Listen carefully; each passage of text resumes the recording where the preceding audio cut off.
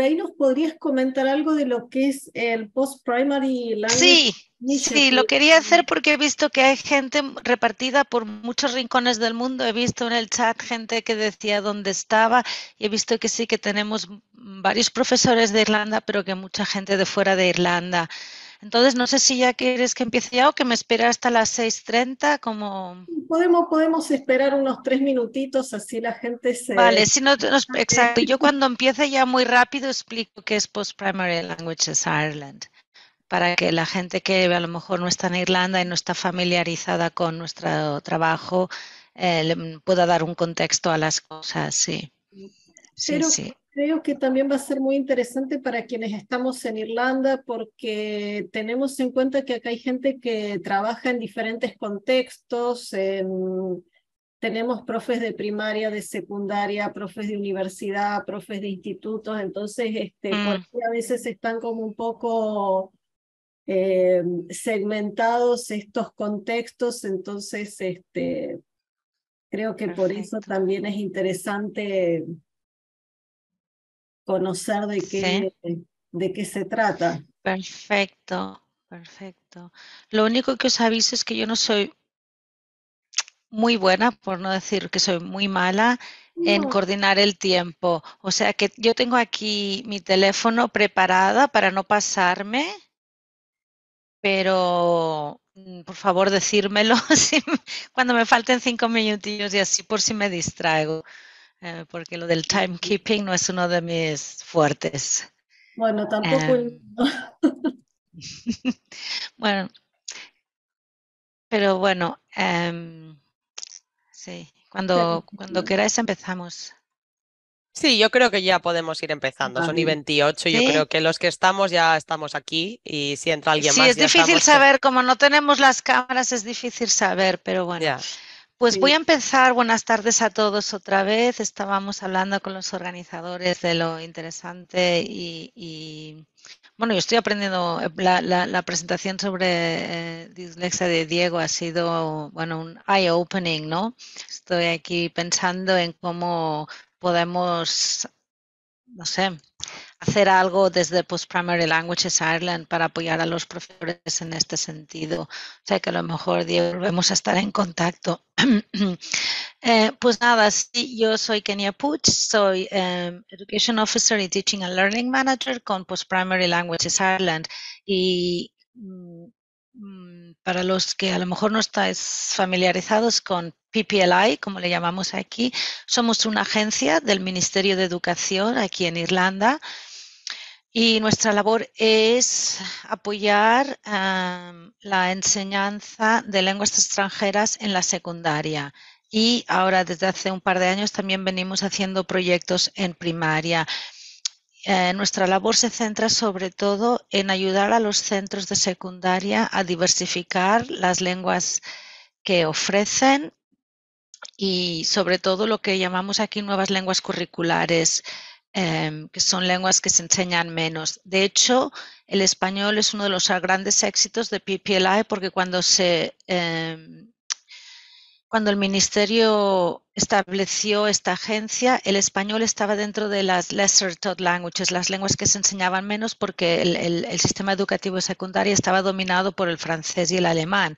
Y de hecho ahora el, español es eh, la segunda lengua más estudiada, pero pronto será la primera.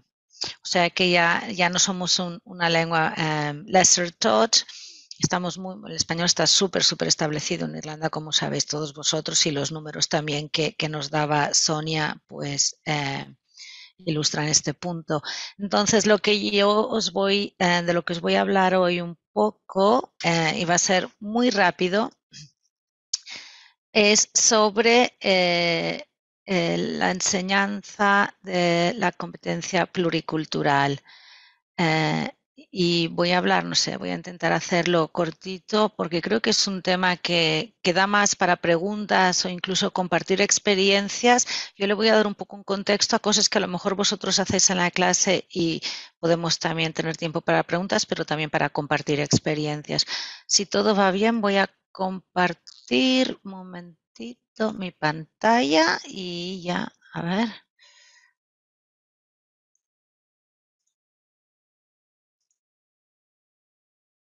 ¿Todo bien? ¿Veis mi pantalla? Excelente, sí, sí. Sí, pues espera que voy al beginner, que veo que no sale desde el beginning. Ahí, from beginner. Ok. Perfecto. Perfecto. Pues eh, esto es el, el, cofre de la cultura, es de lo que vamos a hablar hoy. Es una como puerta de entrada al desarrollo de la competencia pluricultural en la clase de L. Y de hecho, esto Mm, algunos de vosotros vais a decir, oh, llevamos mucho tiempo no utilizando eh, no lo que en inglés no sé cómo le llamamos en castellano, en inglés llamamos realia, ¿no? Traer objetos auténticos, textos auténticos, etcétera. Pero siempre lo hemos enfocado tradicionalmente desde un punto de vista de la adquisición de la competencia comunicativa. ¿no? de aprender vocabulario, lectura, lectura comprensiva, etcétera, etcétera. Pero de lo que vamos a hacer hoy es ver cómo eh, estos objetos nos ayudan a desarrollar esta competencia pluricultural que sabemos que es cada, cada vez más importante. Me gusta siempre empezar con una cita que me parece muy ilustrativa, ¿no? Que enseñar cultura no es enseñar sobre héroes y vacaciones, es conectar a los alumnos con la realidad, los valores y las costumbres del país o países cuya lengua estamos aprendiendo. Y esto mm, también liga con anteriores presentaciones, ¿no? De clave del lenguaje de los jóvenes, etcétera, etcétera, ¿no? Es, es, es movernos un poco fuera de, de, de enseñar cultura con C mayúscula, y, dar estas competencias para saber eh, desarrollarse, participar en la sociedad eh, de, los países de las lenguas que estamos aprendiendo. ¿no? Es, y es, también nos ayuda esto a movernos eh, un poco, salir de los estereotipos, ¿no? De en España siempre hace sol, etcétera, etcétera.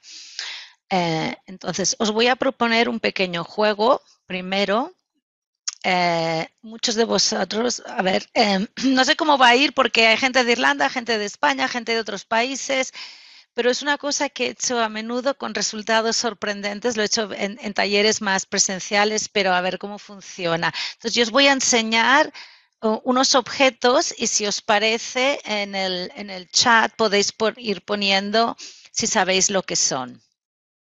Ok, so el primero es este. Ok. yo yo no, no sé si voy a poder ver el chat mientras estoy presentando. Ah, creo sí, ya lo tengo aquí. No sé si lo veo todo. Una abrelatas, una navaja, una abrelatas, exacto. Ni idea, un destapador, cuchilla. Eso súper interesante. Primero porque salen nombres diferentes ¿okay? para, para el, el abrelatas. Eh, y hay gente que dice, ni idea. Que yo cuando he llevado estos talleres aquí en Irlanda, muchos profesores me dicen, es que ni idea. Porque los abrelatas en Irlanda son muy diferentes. Estos abrelatas como tenemos nosotros, que aparte de abrir latas, abre potes, abren botellas de, ¿no? botellas, lo que sea, eh, eh, aquí este no existe. De hecho, el de mi casa yo me lo traje de España, porque me parece el mejor abrelatas del mundo. pero es, es em, Sí, un abrelatas. El siguiente, a ver. ¿Qué le pasa a esto? Ahora, el siguiente, ¿sabéis lo que es?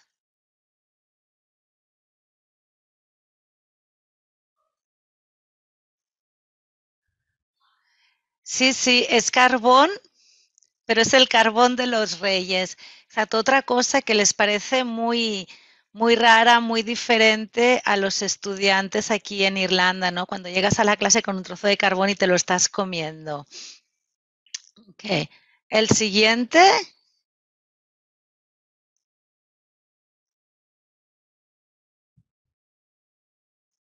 La bombilla para el mate. También otro objeto totalmente desconocido aquí en Irlanda que también nos abre, como ves, esta puerta a este, a este mundo y a estas ¿no? cosas que forman parte del, del, día a día de la gente de los diversos países de lengua hispana.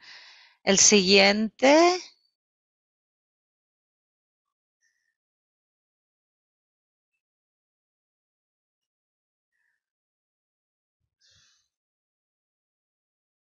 Me encanta, me encanta ver vuestros comentarios porque son muy parecidos a los que Sí que es una cuchara de madera, sí, pero hay alguien sí que lo ha dicho. Es para las aceitunas, exacto. Y todos estos objetos son objetos que están en mi casa y son objetos que tengo en mi cofre de la cultura desde hace años, años y años, cuando todavía estaba en la clase, en el aula. Ahora ya hace tiempo que no estoy en el aula, pero todavía tengo para mis talleres mi cofre de la cultura. Pues este cucharón de madera exactamente para las olivas. Ahora un reto para los que a lo mejor... Em, no sois de un país de habla hispana, a lo mejor al revés. O sea, cosas que son más típicas de Irlanda o de otros países, pero no de España. ¿Sabéis qué es esto? Ay, espera, ¿no ha salido el siguiente? Un momentito, a ver. Ahora. ¿Alguien sabe qué es esto? Uf, ni idea para el pan, un cottage, muy bonita, pero ni idea.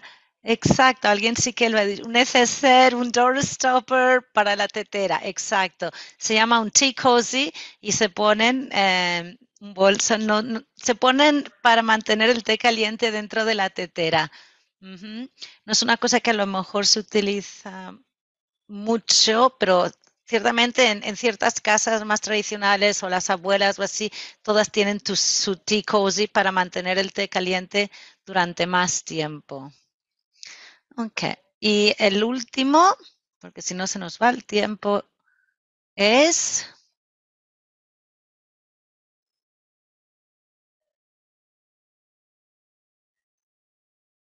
Mm, muy bien, muy bien. Se ve que muchas vivís aquí en Irlanda, ¿eh? Las que estáis contestando. Ni idea. Okay. Como veis, siempre hay objetos del día a día de cualquier país, de cualquier cultura, de cualquier sociedad que son desconocidos para otro mundo. Es un hurl, para los que no vivís en Irlanda, es, es un hurl, es el palo que se utiliza para jugar un deporte típico irlandés que se llama hurling. Que me acuerdo en, en, en un taller que hice al revés, alguien decía, es para sacar la pizza del horno nunca lo había visto, etcétera. os aseguro que en cualquier casa en Irlanda donde haya niños hay un, hay un hurl. So, es una pequeña actividad para esto, para ver cómo, cómo, la cultura es a partir de los objetos, se enseña a partir de los objetos cotidianos. Imaginaros el hurl, ¿no? Y, o, y, las, o, la, o, la, cuchara de las aceitunas es igual. ¿Y cuántas cosas podemos ir sacando de allí en relación a la cultura? O hablar de hobbies, de qué días juegas a los hobbies, qué hobbies practicas, o, de comida, etcétera, etcétera, del clima, de, mil cosas. ¿Okay? Y esto me lleva a mi siguiente diapositiva sobre el iceberg de la cultura, que muchos de vosotros conocéis, pero que es importante comentarlo, ¿no?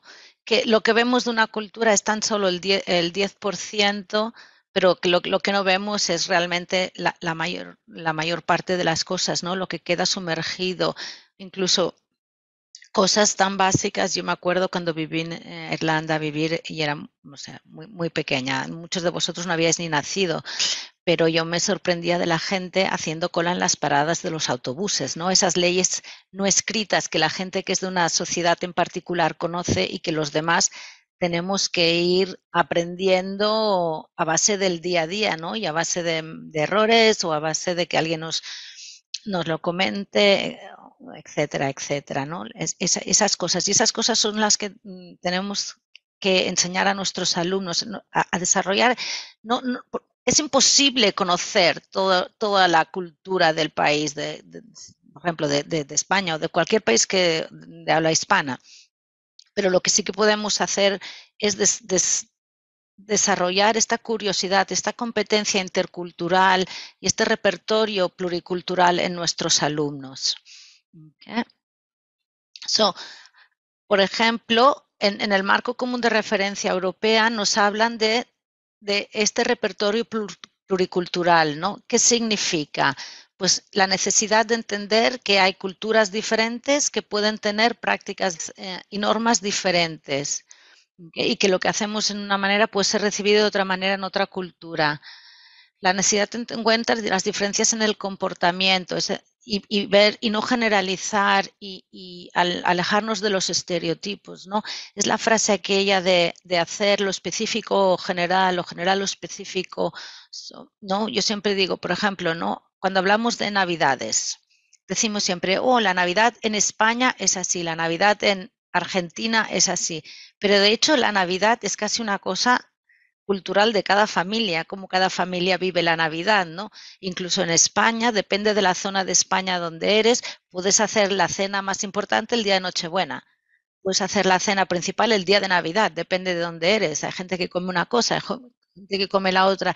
Entonces se trata más de decir, bueno, en mi familia, en mi entorno, la Navidad es así. Eso no quiere decir que sea igual en toda España o en todos los países de habla hispana, etcétera, etcétera a veces nos centramos mucho en, las diferencias, en lo que es diferente en cada país, ¿no? En Irlanda, en España, pero lo más importante es también ver las similitudes, porque las similitudes es lo que nos acercan a los unos a los otros. En vez de fijarnos en las diferencias, fijarnos en las cosas que hacemos iguales. Eso nos ayuda a conectar más con la cultura del país, con los hablantes de, esa lengua mostrar esta sensibilidad a las diferencias sin dejarse influir por estereotipos, por mm, prejuicios. es evaluar las cosas de una manera más neutra y más crítica. Y estas competencias son las que queremos desarrollar en nuestros alumnos a la vez que evidentemente enseñamos la lengua. Y por eso yo empecé a utilizar, y y os hablo de hace 20, 25 años o más, lo que, el cofre de la cultura. Okay. So, empecé a coleccionar, ya tenía, pero más y más y más elementos, em, objetos, como los objetos que os he enseñado al principio, pero cualquier cosa, o sea, yo me voy de vacaciones y como veis ahí, eh, cojo del supermercado todos los envoltorios que puedo me los traigo, porque es mucho más interesante enseñar cosas tan básicas como la comida, dándoles, mostrándoles las etiquetas, ¿no? Como veis ahí tenéis las lonchas de queso, las galletas María. Ah, mira, galletas María. Pues mira, en Irlanda se llaman Marieta son parecidas. Y la, la, la. El agua, los berberechos. Bueno, tengo aquí solo tenéis una foto con algunos ejemplos, ¿no? Como veis, hay revistas, hay mapas, hay postales, una agenda escolar, Em, mm, objetos de casa, como habéis visto. Todas estas cosas yo las voy recogiendo. Una cosa que me encanta hacer es si voy de viaje a algún sitio, recojo desde los billetes de avión, los, los, billetes de metro, los recibos de un restaurante, todo lo que compro lo voy guardando y luego os enseñaré un ejercicio que, hemos, que, he hecho muchísimas veces en clase a partir de, estas, de estos objetos. Lo bonito del cofre de la cultura es que es una cosa que podemos tener presencial en la clase. Entonces, en un momento dado, los alumnos, nosotros, siempre podemos ir allí y buscar un, un, objeto. Incluso en el sentido de preparar las clases es muy fácil porque tienes allí ya todo, ¿no? Y es muy fácil crear una actividad. Em, esto es el cofre de la cultura.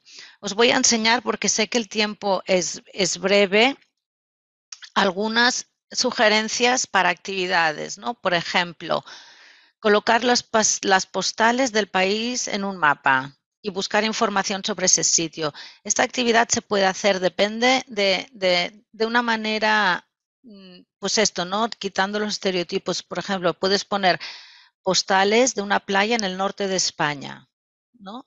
Eh, y, postales de una ciudad, postales de un pueblo, o sea, de 30.000 sitios que hacen que la gente se cuestione la visión de la vida de Irlanda. Las postales pueden ser de paisajes, pero es que pueden ser de calles, de transporte, de gente, de mil cosas, postales o fotografías. Y una de las cosas que, que hacemos es puedes buscar información sobre ese sitio, puedes centrarte en el clima, puedes centrarte en, la descripción de, la ciudad, ¿no? Y pueden hacer ellos su investigación. Puedes centrarte en, colores, pues es que en, cualquier tema, pero lo estás haciendo desde esa perspectiva que también les puedes ayudar a reflexionar. ¿Y sería esto igual en España? ¿Qué, qué, cosas son parecidas? en Irlanda? ¿Qué cosas son parecidas? Etcétera. Em, una cosa que también va muy bien es utilizar pues, las revistas, periódicos para crear burbujas de diálogos para las fotos. Y aquí, mira, estaba hablando eh, antes Álvaro y decía el lenguaje de los jóvenes y yo pensaba, perfecto, una buena manera de, reciclar ese lenguaje que hablábamos ¿no? del, del currículum en espiral pues es darles ¿no? recortes de una revista de adolescentes o lo que sea y pensar cómo pueden utilizar esas frases que, hemos aprendido, ¿no? Habéis visto la foto que tenía al principio de la presentación con esa cita, ¿no? Y la reflexión esa de, de los chicos que entran en el instituto y cómo van vestidos. Claro, aquí en Irlanda, los que vivís en Irlanda sabéis que es completamente diferente. Casi todo el mundo va al instituto con un uniforme. Entonces, pues hablar de, de eso y, pensar, ¿no? ¿Qué, pueden estar diciendo esos chicos, esas chicas cuando van entrando al instituto, etcétera, etcétera? Em, ¿Qué cosas les gustan de llevar uniforme? ¿Qué cosas no les gusta llevar uniforme? Etcétera. Hacer un web quest con páginas de internet, ¿sabes? Un web quest es como hacer un treasure hunt.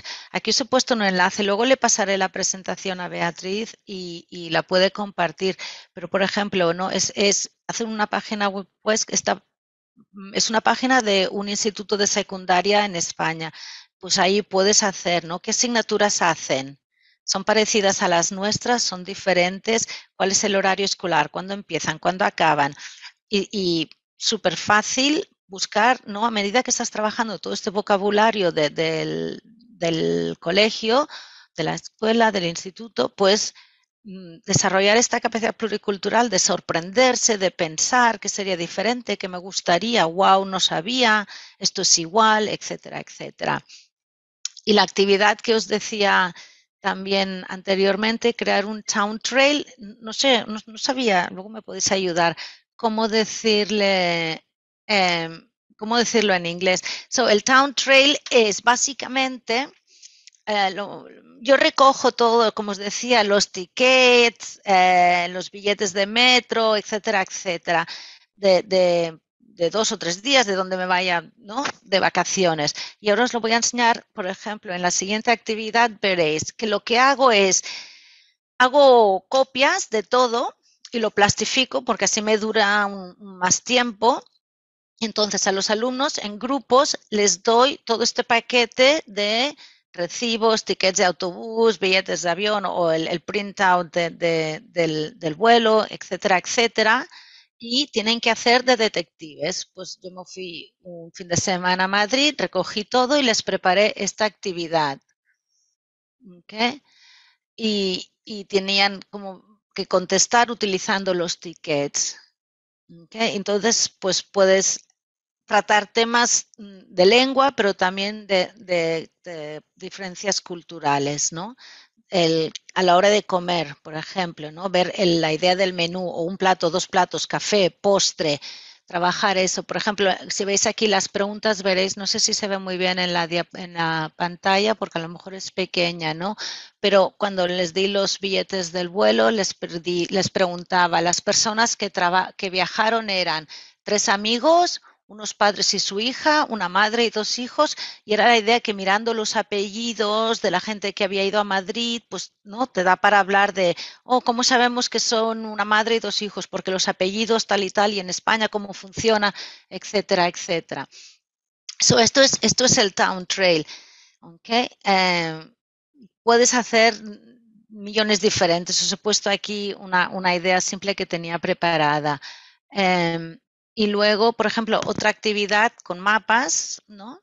Es esta idea de crear un itinerario, ¿no? Y ellos pueden elegir si creen un itinerario para una familia con dos hijos de 14 y 16 años, una manera de descubrir una ciudad, qué elementos de la ciudad pueden ser diferentes y parecidos en la ciudad o, si viven en un pueblo, en el pueblo donde viven, etcétera, etcétera. Aparte de, de, aprender, ¿no? como os digo, siempre ligado a esa idea de no sé cómo voy de tiempo, a esa idea de que hay, de que ¿no? cuando enseñamos lenguaje, enseñamos también estas destrezas em, interculturales y, una capacidad de reflexionar sobre la, cultura. Em, veo que van entrando preguntas y quiero tener tiempo para contestarlas. Y es una presentación, os la he hecho súper rápido, pero para que veáis un poco el tema. Podríamos estar hablando horas y profundizar muchísimo más en todo esto. pero para terminar, alguien me preguntaba, mm, ¿qué hacemos? No sé si estaba aquí en el chat el otro día, ¿no? ¿Cómo, ¿Cómo puedo recoger todos estos materiales si no tengo la oportunidad de ir a España o a un país de lengua hispana o tener objetos que no solo sean de España, sino que también sean de otros países. Y una de las cosas que yo hice hace muchísimos años es en, los centros poner un póster. Muchísima gente va de vacaciones a España.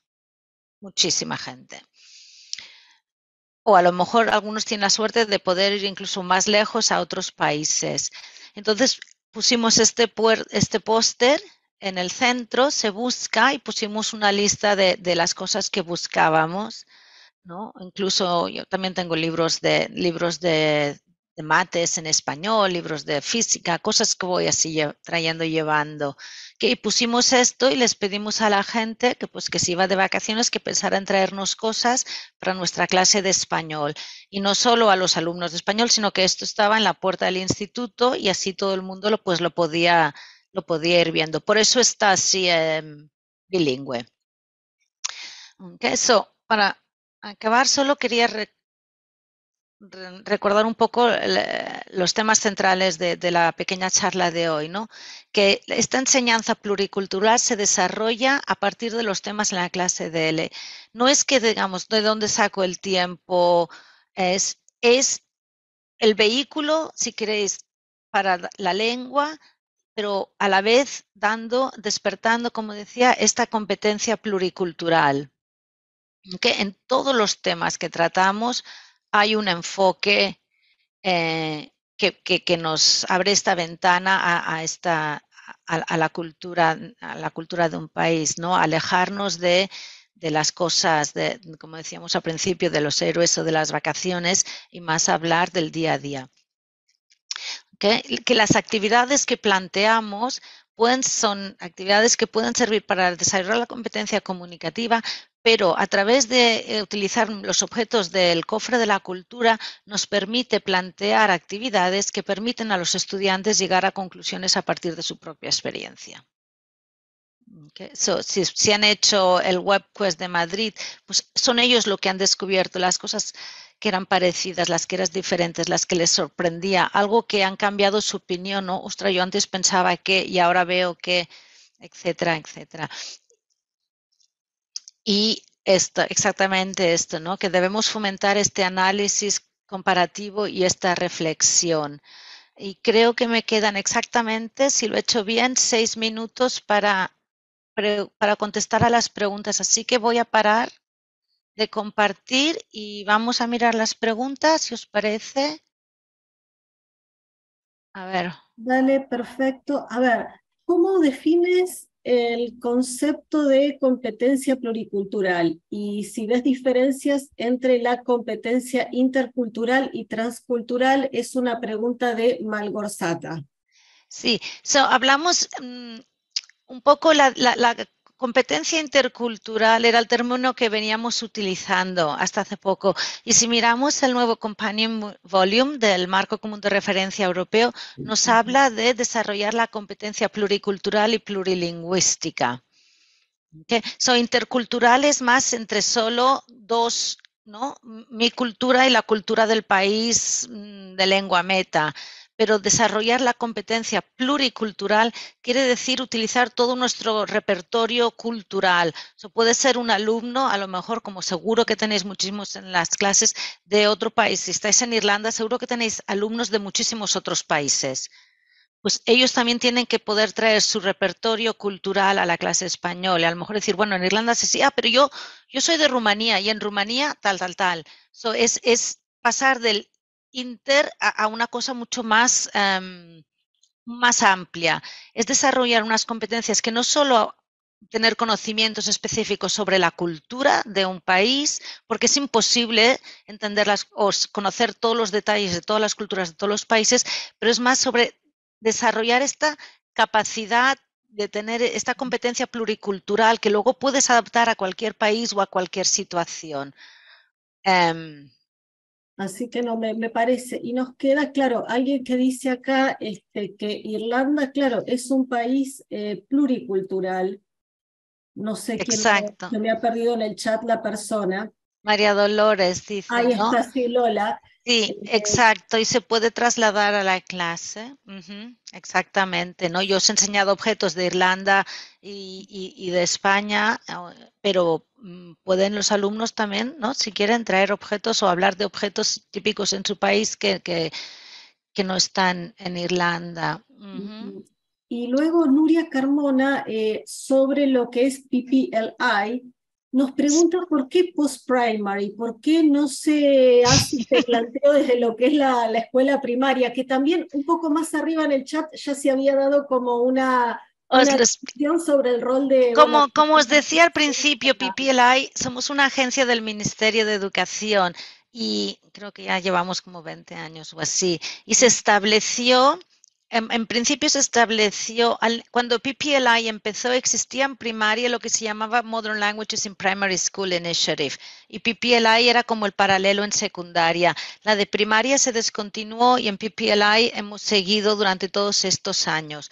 Pero ahora que tenemos un módulo en primaria, y que el nuevo currículum en primaria va a, introducir la lengua extranjera, en PLI también nos estamos ocupando del módulo que se llama Say Yes to Languages. Algunos de vosotros seguro que habéis oído hablar de este módulo en primaria. Entonces, es un poco confuso porque nos llamamos PPLI, pero el ministerio nos ha pedido que trabajemos con primaria también. Son cosas de, no sé si algún día cambiarán el nombre o no cambiarán el nombre.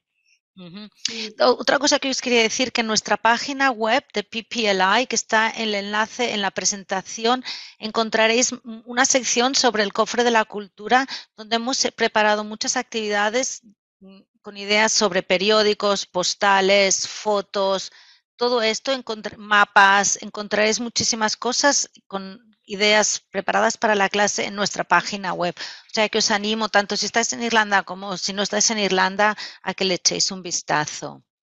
Si acá dice Lola que, que la web es muy buena. Ay, gracias Lola. Así que, y después, bueno, eh, que ya, ya se nos eh, ha ido el tiempo, pero eh, te quiero decir que hubo comentarios muy positivos mientras ibas hablando sobre lo interesante de las actividades. Así que Muchísimas gracias. Es una pena porque esto se puede hacer un taller de horas y horas y probar las actividades y adaptarlas y comentar. Y me hubiera encantado también saber actividades que vosotros a lo mejor utilizáis ¿no? y, que podemos compartir. Pero bueno, un placer estar este ratito con vosotros y, nada, pues si necesitáis contactar conmigo a través de PPLI, os podéis poner en contacto conmigo.